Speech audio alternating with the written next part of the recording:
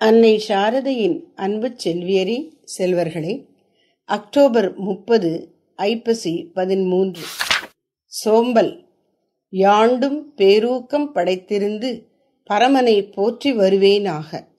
ஆத்ம சாதனத்துக்கு பேரிடைஞ்சலாய் இருப்பது சோம்பல். அதை அகற்ற இயலாதவர்க்கு முன்னேற்றம் இல்லை தேவைக்கு மேல் உடலுக்கு ஓய்வும் உறக்கமும் கொடுத்தால் அது சோம்பலாகும். இன்று செய்து முடிக்க வேண்டியதை நாளைக்கென்று ஒத்தி வைப்பது சோம்பல்.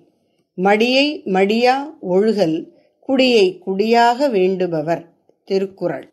சோம்பல்.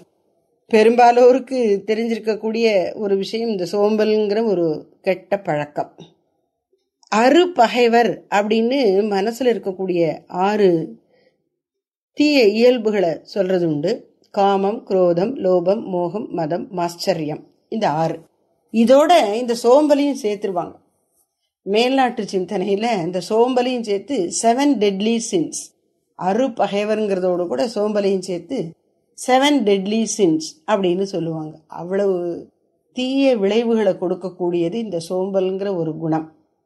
அதை மாற்றணும் மாற்றி அமைக்கணும் நம்முடைய இயல்பை திருத்தி அமைக்கணும் அப்படிங்கிறதுனுடைய அவசியத்தை இங்கே சுவாமிஜி சொல்கிறாங்க யாண்டும் பேரூக்கம் படைத்திருந்து பரமனை போற்றி வருவேனாக.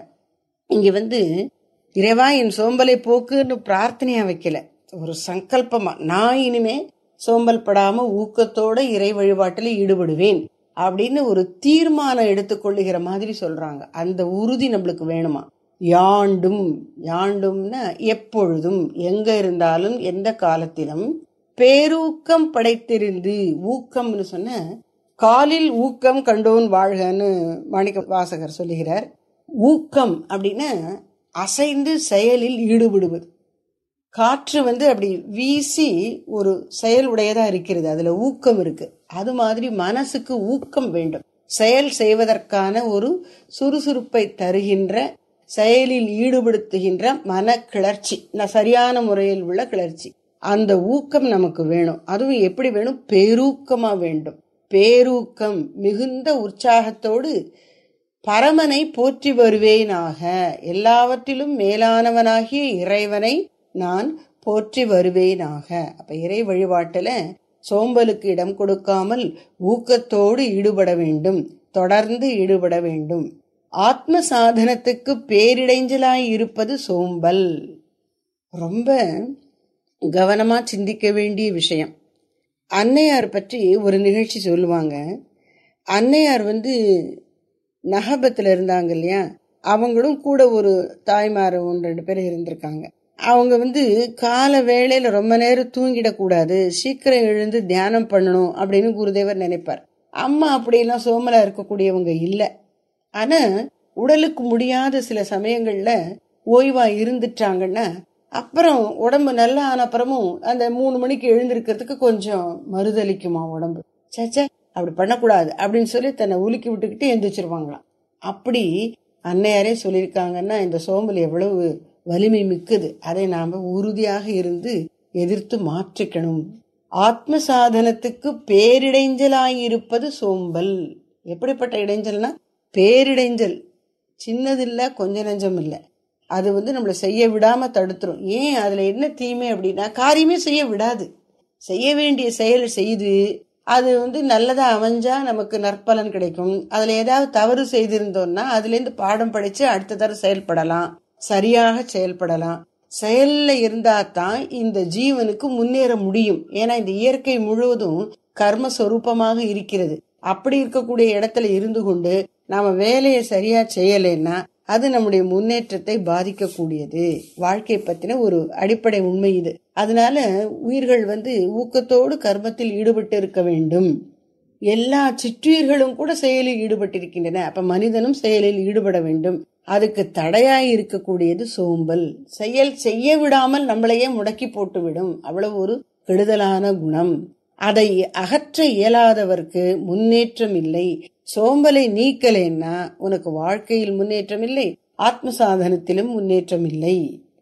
படிக்கிறதுக்கு சோம்பப்பட்டா அவன் படிச்சு அப்புறம் நல்ல வேலையெல்லாம் பார்த்து வாழ்க்கையில முன்னேற முடியாது. வேலைக்கு போற இடத்துல வேலையை சரியா செய்யல சோம்பேறியா இருந்தான்னு சொன்ன வேலையிலேயே இருக்க முடியாது. அவங்க கழட்டி விட்டுருவாங்க. எத்தனை நாளைக்கு சோம்பேறியை வச்சுக்கிறது? அதனால அவரவருக்கு அமைந்த கடமைகளை ஊக்கத்தோடு செய்வது அவசியம். அப்படி ஊக்கம் இல்லாமல் சோம்பேறித்தனப்பட்டால் அது நமக்கு பெரிய இடைஞ்சல்களை கொண்டு வந்து விட்டுவிடும். முன்னேற்றத்தை தடை செய்யும். சரி சோம்பல் சோம்பலுங்கிறோம்ல அது எப்படி அதை கண்டுபிடிக்கிறது அப்படின்னா தெரியாம இருக்காது எல்லாருக்கும். ஆனாலும் ஒரு விளக்கம் கொடுக்குறாங்க சுவாமிஜி இதை சிந்திச்சோம்னா ஓ இது கூட சோம்பல் தானா அப்ப இதையும் போக்கணுமா அப்படின்னு தெரியும். என்ன? தேவைக்கு மேல் உடலுக்கு ஓய்வும் உறக்கமும் கொடுத்தால் அது சோம்பலாகும்.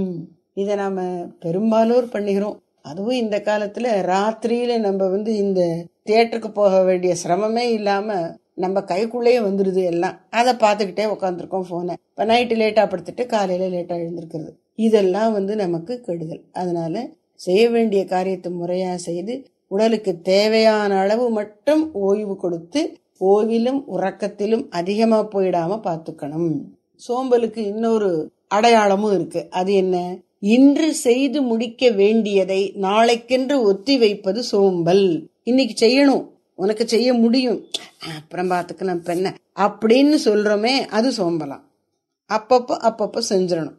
அலுவலகத்துல கல்லூரியிலயோ மற்ற அலுவலகங்களிலேயோ இந்த கடிதங்களுக்கு பதில் எழுதுவது குறித்து ஒரு தரம் எனக்கு மூத்தவர் நிறைய அனுபவம் பெற்றவர். அவர்கிட்ட பேசிட்டு இருந்தபோது நான் சொன்னேன் எல்லா கடிதங்களுக்கும் உடனே பதில் எழுத முடியல. ஏதாவது நமக்கு ஒர்க் இருந்துகிட்டே இருக்கு. அந்த பெண்டிங் ஒர்க் முடிக்க முன்னாடி புதுசு வந்துகிட்டே இருக்கு. அதனால கடிதங்கள் எல்லாவற்றுக்கும் அன்னைக்கே பதில் எழுத முடியலன்னு சொன்னேன். அப்ப அவர் சொன்னார் அன்னைக்கே எழுத முடியாம தான் இருக்கும். வேலை நிறைய இருக்கும்போது அது தப்பில்ல. ஒரு வாரத்துக்குள்ள பதில் எழுதிடணும். அதை விடவும் தள்ளி போடக்கூடாது அப்படின்னு சொன்னார். அப்போ நமக்கு இருக்கக்கூடிய வேலை பழுவை பொறுத்து வேலைகளை வந்து வரிசைப்படுத்தி கொண்டு எதை முதல்ல செய்யணும் எது அவசரம் அப்படி சொல்றாங்க இல்லையா? இது அவசரம் இது முக்கியம். இது முக்கியம் ஆனால் அவசரம் இல்லை.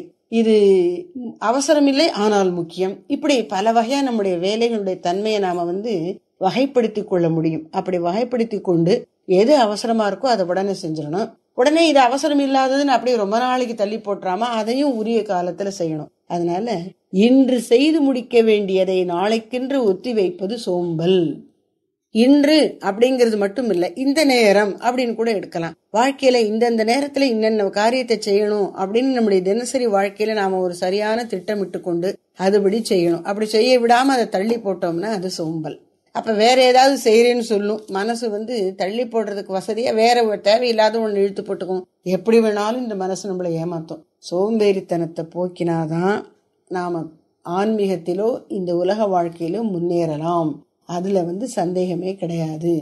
இந்த சோம்பலோடு சேர்ந்து ஒரு செட்டாக ஒரு நாலு குணத்தை சொல்கிறார் வள்ளுவர். அது என்னென்ன அப்படின்னா நெடுநீர் மறவி மடி துயில்.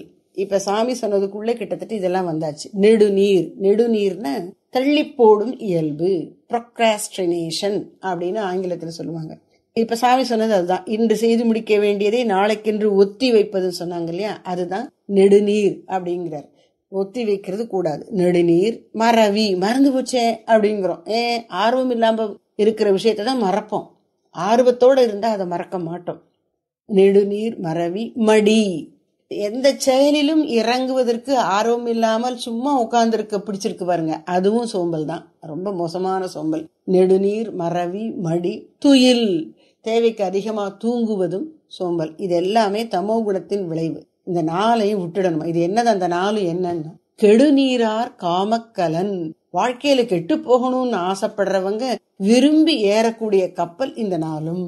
நெடுநீர் மறவி மடி துயில் நான்கும் கெடுநீரார் காமக்கலன். அதனால இந்த நாளையும் நீ விட்டொழிச்சா தான் வாழ்க்கையில முன்னேற முடியும். அது லௌகீகமா இருக்கட்டும் ஆன்மீகமா இருக்கட்டும்.